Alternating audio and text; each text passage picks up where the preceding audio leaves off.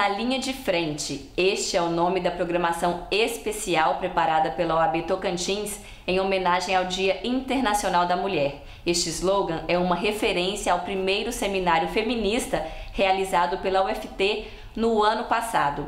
E a escolha deste tema é a própria bandeira que tem pautado a atuação da Comissão da Mulher Advogada da OAB Tocantins. É sobre isso que o Lugar de Mulher vai falar hoje e aqui comigo está a Emilene, que é a vice-presidente da Comissão da Mulher Advogada. Emilene, muito obrigada por ter aceitado o convite para estar aqui hoje. Eu quem agradeço, Ludmila, é um prazer. Bom, então vamos lá, Emilene, vamos começar explicando qual que é o objetivo desse evento, né? Nesse mês aí em que a gente comemora, lembra o Dia Internacional da Mulher. Bom, é, nós fazemos evento, esse é o terceiro ano que nós fazemos um evento que compreende o estado inteiro, né? Porque nós saímos aqui de Palmas, é a seccional quem faz, então as advogadas que vão palestrar, elas saem quase todas aqui de Palmas, algumas são convidadas de fora do estado e vão até o interior levar essas pautas que são propostas na programação. A ideia é realmente utilizar o mês de março para destacar questões relacionadas tanto à advocacia feminina, que é uma das pautas da Comissão da Mulher, quanto aos direitos da mulher de um modo amplo, né? daí pensando mulheres comuns, não advogadas. Bom, além da capital Palmas, como você já disse que vocês vão viajar ao estado, outras cinco cidades vão receber essas programações e essas palestras. Como que se deu, Emilene, essa escolha? É, na verdade, a, a, comissão ela se dá de modo descentralizado. Então, por exemplo, a presidência dessa comissão é de uma colega advogada de Araguaína. Então, nós dialogamos com todo o estado o tempo inteiro, não só em março. Né? Essa comissão ela está presente em todas essas cidades onde nós vamos. É, então, nós abrimos no final do ano um chamado, nós é, falamos para as colegas, né? nós vamos fazer um programa especial em março. É, quais subseções querem receber essa programação? E daí as subseções que demonstram interesse, a gente articula isso juntas, fecha a programação juntas, e daí agora em março nós vamos até lá realizar os eventos. Bom, então vamos começar, gente. A primeira programação dessa semana especial aí, em comemoração ao Dia Internacional da Mulher, é em Colinas, no dia 5, né, Milene? Lá um ponto que dá pra gente destacar é sobre a violência obstétrica e a contribuição da mulher no direito do consumidor. O que, que dá para você citar rapidamente sobre essa programação de Colinas? Então, em Colinas, a gente tem a participação da, da Comissão de Direito do Consumidor, por exemplo, que é parceira da Comissão da Mulher, e ela vai abordar essa questão do direito do consumidor, olhando aí para a mulher especificamente. É, e é interessante, eu participei numa outra ocasião, inclusive, de uma palestra é, da Comissão de Direito do Consumidor e eles fizeram um apontamento que eu nunca tinha pensado, por exemplo, que é a gente tem muito essa noção de que uh, que se fala até como piada, que a mulher gasta mais, a mulher consome mais. E numa oportunidade que eu ouvi uma colega de direito do consumidor, ela explicava isso. E, e é muito interessante, talvez a Liliana Borges, que é a palestrante desse tema, aborde isso que na verdade as mulheres compram mais porque nós somos as responsáveis por trazer as coisas para dentro de casa. Então, em a tese, gente não né? compra só pra gente, Isso, né? exatamente. Né? Então, como a gente vem de um modelo tradicional, no modelo tradicional o homem trabalhava, né, provia a família e a mulher ia sair de casa para fazer as compras. Então, por essa ideia foi o que a colega colocou numa outra ocasião, que meio que se mitificou essa história de que a mulher consome mais. Mas achei bem interessante, talvez é uma a Liliane, interessante a Liliane, a Liliane possa certeza. abordar isso também, né? Mas na violência obstétrica, que é um tema que eu particularmente trabalho, pelo qual tenho muito apreço, é, é foi um tema pedido pela cidade de Colinas, né? As mulheres de lá pediram para nós abordarmos esse tema.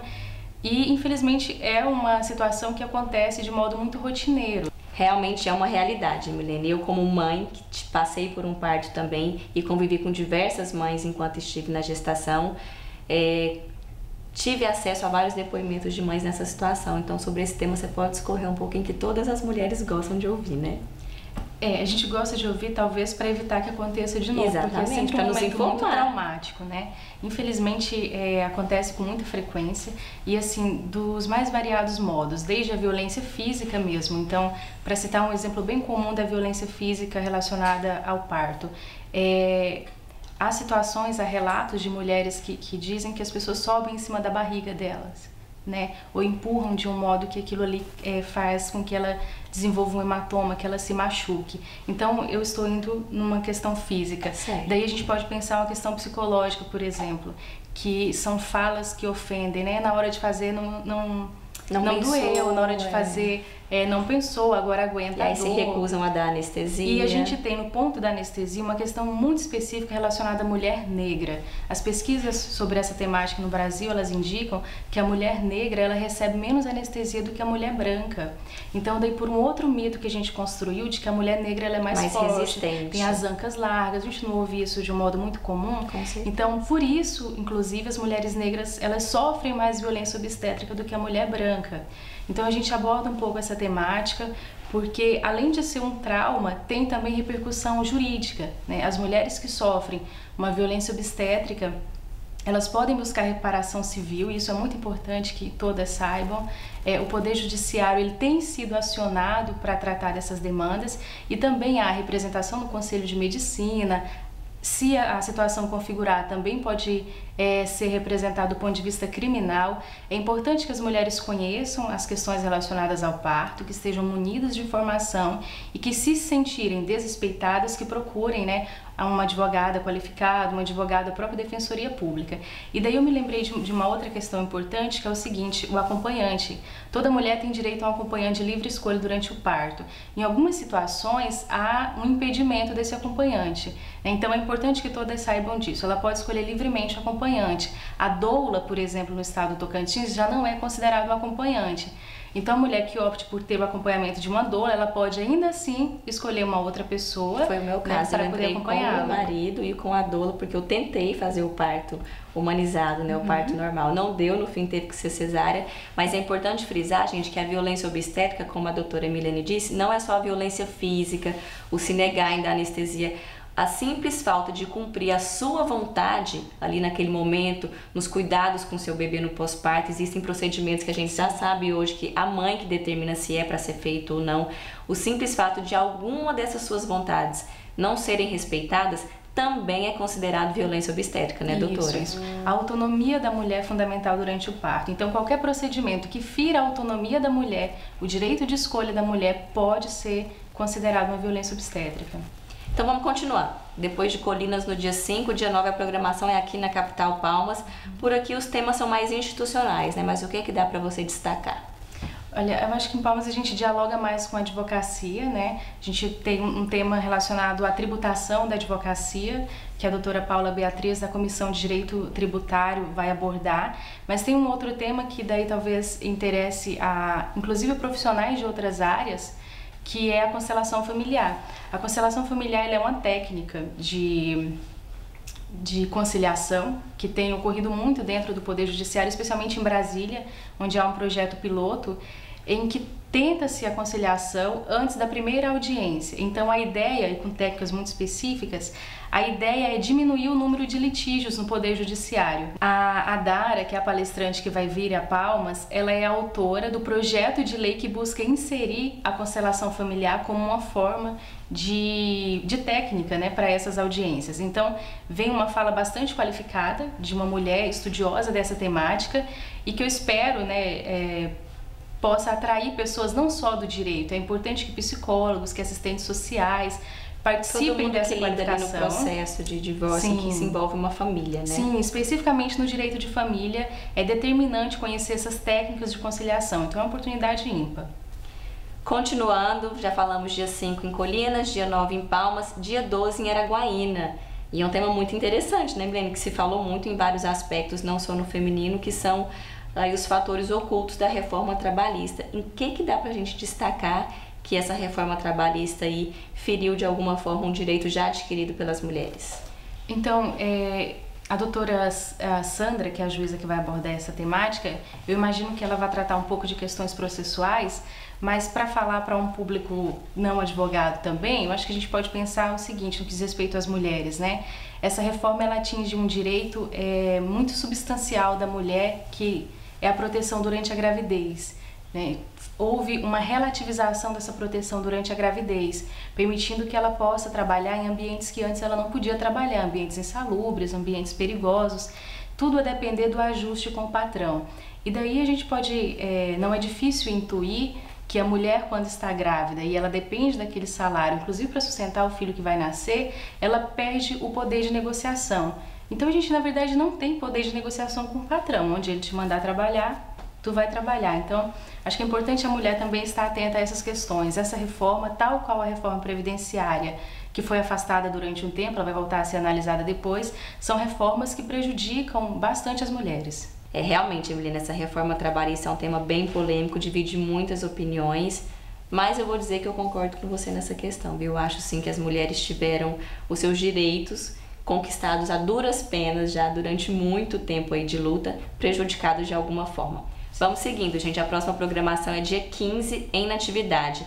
E o tema que eu destaquei para a gente abordar lá, dentro da programação, é o feminicídio, né? A gente sabe aí que os números são alarmantes, vem crescendo ano após ano. De que forma que a OAB vai tratar esse tema dentro dessa programação? Então, Ludmila, nós temos é, dialogado a OAB com a população de Palmas e daí com a população do estado inteiro, né, dentro dos conselhos que nós compomos, é, tentando buscar alternativas de políticas públicas para essas questões todas que é, desembocam no feminicídio, porque na verdade é, o que os estudos indicam é que a violência ela não começa no feminicídio, e daí eu me refiro à violência doméstica e familiar. Né? Ela, ela ocorre dentro de um contínuo de violência, então ela começa menor e ela vai crescendo e termina na morte da mulher. Essa é uma forma do feminicídio, o feminicídio íntimo, mas também existe o feminicídio que não é íntimo, então aquele que é, que é praticado, é praticado por um desconhecido, mas por questões de gênero, porque uhum. essa é a distinção, né? A distinção do feminicídio para o homicídio comum é a questão de gênero. Ou ela vai se dar dentro de uma relação de afeto, de uma relação doméstica e familiar, ou ela tem um distintivo de gênero, ou seja, aquela mulher morreu porque ela é mulher. Né? Essas questões elas devem ser ponderadas. E daí o que a OAB tem buscado fazer? é mostrar para a sociedade a relevância desse tipo penal. Ainda existe uma discussão muito grande em torno do tipo penal do feminicídio. Muitas pessoas acham que é desnecessário Tipificar. diferenciar o feminicídio, mas por que, que é absolutamente necessário? Ele é necessário porque sem visibilidade não se combate. Então é importante dar visibilidade à morte das mulheres. E nomear a morte de mulheres, a matança de mulheres, é uma forma de dar visibilidade. E daí pensar políticas públicas, dialogar com a sociedade e buscar minorar o número de mortes violentas de mulheres.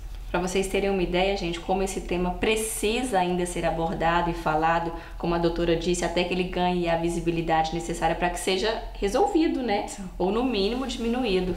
O Brasil, esses são dados do ano passado, tá, gente? De um ano atrás, ainda não tem os dados atualizados este ano.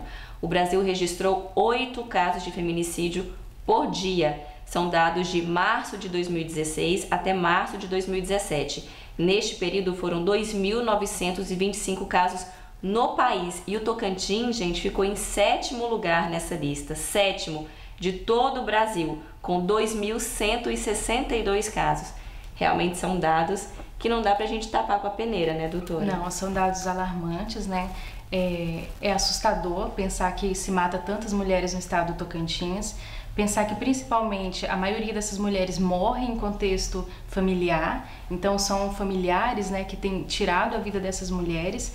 Por isso, a importância de a gente dialogar esse respeito, a importância de inibir as violências muito pequenas ainda, porque, como eu disse, os estudos sugerem um crescente de violência. Né? A primeira violência raramente é a violência letal. Né? Ela começa como uma violência psicológica, ela evolui para uma violência física e ela pode chegar na morte da mulher. E tem uma outra questão também fundamental de se entender.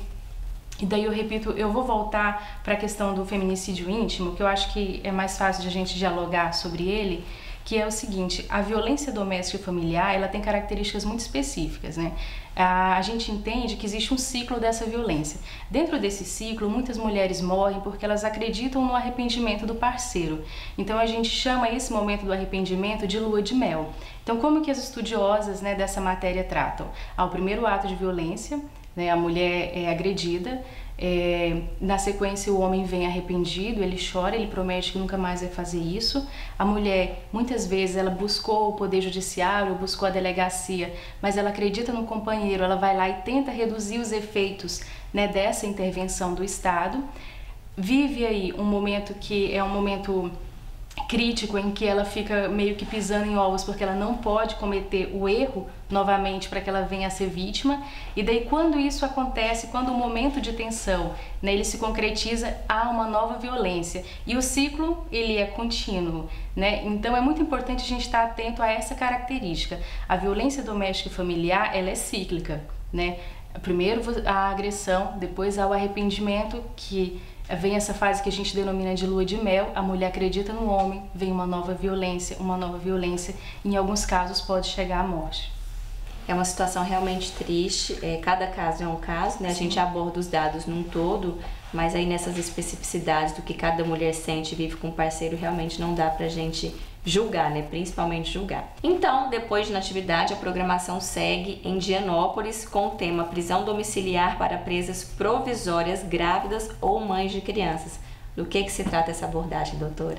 Esse é um dos temas que a gente vai discutir em Dianópolis e é um tema é, bastante polêmico e muito atual. Né? O Supremo Tribunal Federal há poucos dias concedeu uma liminar é, que permite que no país inteiro as mulheres que estejam aprisionadas em prisão provisória, ou seja, sem uma condenação definitiva transitada em julgado, se forem mães de crianças até 12 anos de idade, elas possam cumprir prisão domiciliar. Essa decisão do Supremo Tribunal Federal, que ainda precisa ser confirmada pelo, pelo Pleno, é, ela cumpre uh, um marco específico no Brasil, que é a proteção à primeira infância. Então, veja, ela alcança mulheres, mas o objetivo da legislação é proteger a primeira infância. Então, o que a gente tem no Brasil é um cenário crescente de, de mulheres aprisionadas, mulheres grávidas, mulheres com crianças pequenas. Não raro essas mulheres são as únicas que sustentam a família, então essas crianças ficam abandonadas ou voltam para a família, por exemplo, para a avó. É muito comum a avó cuidar dessas crianças, mas ele sobrecarrega uma outra mulher também, que é a avó, e vai precarizando essas relações familiares. Então, essa decisão do Supremo é um marco no Brasil, porque ela concretiza um direito que já está assegurado e que não era garantido, que é o direito de total atenção à primeira infância, voltando essa mãe para o lar para que ela possa, nesse primeiro, nesses primeiros anos de vida, estar perto dos filhos. E por último, a programação se encerra em Tocantinópolis. Em que dias e que temas vocês vão tratar lá? 19 e 20 a programação em Tocantinópolis. E Tocantinópolis a gente tem uma, uma, uma abordagem muito interessante de uma juíza que hoje ela está lotada no Goiás, salvo engano, em Pirinópolis, que é uma juíza que tem uma trajetória muito especial. Ela era empregada doméstica, ela foi para São Paulo fazer a graduação, com duras penas conseguiu uma bolsa é, de estudo no curso preparatório, voltou, prestou o concurso, passou e hoje ela é juíza. É, então, nesse cenário, assim, a gente anda o estado inteiro para tratar não só das questões urgentes de proteção, de políticas públicas, mas também ir aí em Tocantinópolis para mostrar que é possível reverter né, essa situação, que as mulheres estão ocupando todos os espaços, espaços uh, que antes eram espaços notadamente masculinos, como por exemplo a magistratura, e sobretudo que esse espaço também pode ser ocupado por mulheres que vêm de classes menos, menos favorecidas. Né? Então, acho que a gente tenta, nesse cenário, fazer essa reflexão, chamar atenção para os dados alarmantes, dialogar com a advocacia, que é responsável também por formar opinião. Então, quanto mais qualificada a advocacia tiver, a gente entende que mais pode contribuir para o bem-estar da sociedade e também dialogar com as mulheres que não são da advocacia, mas que atendem aos nossos chamados, participam dos eventos. Emilina, agradeço demais a sua participação. Eu tenho certeza que essa programação vai atingir um grande, um grande número de mulheres aí que vão poder se beneficiar de todas essas palestras que a OAB vai estar promovendo aí nesses municípios aqui do estado. E para encerrar, eu vou te fazer a pergunta que eu faço para todas as mulheres que vêm aqui no programa. Já que lugar de mulher é onde ela quiser, qual que é o lugar da Emilene no mundo? Um, na luta pelos direitos das mulheres, aonde a luta estiver acontecendo. É isso aí, gente. O Lugar de Mulher fica por aqui. Neste programa especial, quero deixar uma mensagem para vocês, mulheres que estão me assistindo. Lutem como uma mulher. Lutem com as armas de uma mulher. Vão atrás dos seus direitos se informem e não deixem em nenhum momento que esses direitos e as suas vontades sejam violadas. Fiquem todas com Deus, uma ótima semana, feliz Dia Internacional da Mulher e até o próximo programa.